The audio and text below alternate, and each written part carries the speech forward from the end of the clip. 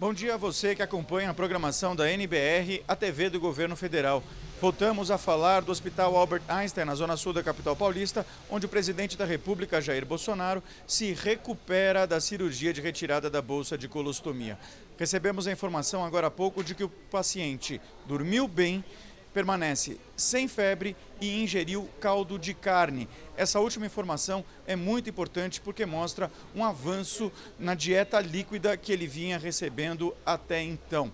Na noite de quarta para quinta-feira, o presidente da República registrou um episódio isolado de febre sem outros sintomas associados. Os médicos realizaram então uma tomografia de tórax e abdômen e identificaram uma melhora no quadro intestinal, mas também uma imagem que era compatível com o quadro de pneumonia justamente no pulmão do presidente. Eles realizaram um ajuste na medicação, introduziram uma droga a mais, um medicamento antibiótico de amplo espectro naquela antibiótico-terapia que ele já vinha recebendo. As visitas continuam restritas e não há previsão para alta. O presidente segue fazendo exercícios de fisioterapia, principalmente caminhadas no corredor do hospital.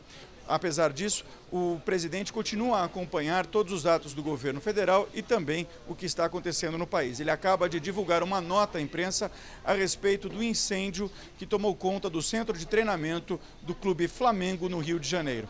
Diz a nota. Nesta manhã, tomamos conhecimento da triste tragédia ocorrida no centro de treinamento do Flamengo, vitimando jovens vidas que iniciavam sua caminhada rumo à realização de seus sonhos profissionais. Consternado, o presidente da República se solidariza com a dor dos familiares neste momento de luto. Sobre esse assunto, vamos agora conversar com a repórter Luciana Colares de Holanda, que tem mais informações em Brasília. Bom dia, Luciana.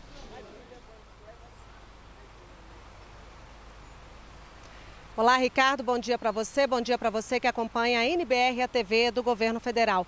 Realmente essa é uma notícia muito triste, dez garotos das categorias de base do Flamengo morreram neste incêndio na madrugada de hoje no Rio de Janeiro. E o Ministério da Cidadania, aqui em Brasília, divulgou agora pela manhã uma nota de pesar em que diz que o Brasil amanheceu profundamente triste com a notícia da tragédia. Segundo o texto, que é assinado pelo ministro da Cidadania, Osmar Terra, e o secretário especial do esporte, Marco Aurélio Vieira, o Ministério da Cidadania se coloca à disposição do clube e das autoridades do Rio de Janeiro para as ações de apoio que se fizerem necessárias. O vice-presidente da República, Hamilton Mourão, que está no Rio de Janeiro para uma série de compromissos, também divulgou o seu pesar nas redes sociais. O general Mourão, que é torcedor do Flamengo, se diz profundamente triste e solidariza-se com a família, o clube e a nação rubro-negra. Abre aspas. Deus conforte a todos, toque de silêncio, fecha aspas, encerra o vice-presidente Hamilton Mourão. Ele tem compromissos hoje no Rio de Janeiro. Neste momento, agora de manhã, ele está em uma agenda com o Conselho Empresarial Brasil-China e também acompanha as informações sobre essa tragédia no centro de treinamento do Flamengo. Nós voltamos a qualquer, a qualquer momento na nossa programação com outras informações. Você pode acompanhar pela TV NBR, pelas nossas redes sociais.